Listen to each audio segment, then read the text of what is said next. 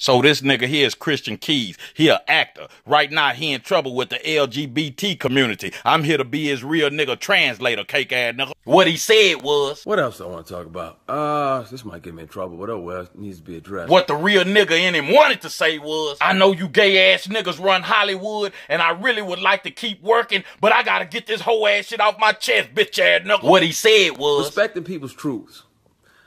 I got nothing but love for all our brothers and sisters in the gay community.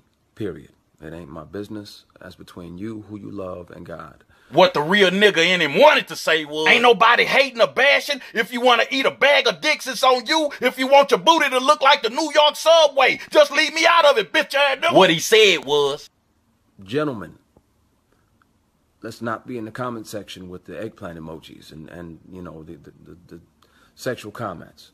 I'm not a fan. What the real nigga in him wanted to say was, I am a boy, dang. Black superhero music, nigga.